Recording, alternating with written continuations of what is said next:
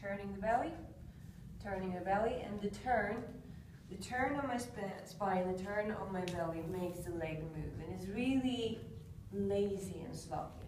Then I reach the foot down so I get the rotation and I get the stretch here in the side of the body and maybe to the back of the sacrum. But I keep this hand firmly. The hand wants to lift, but if I keep it down, the stretch will be better.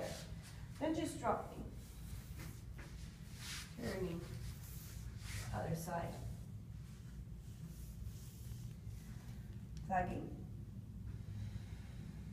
Reaching through the hands, elbows out.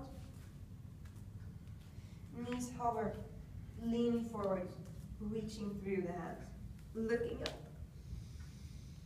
Hands reaches down and forwards, and then you can do that one leg straight, bending, other leg straight, bending. Use that to walk your hands back into a forward bend.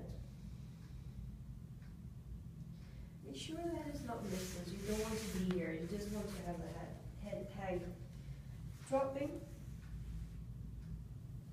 reaching the heels down.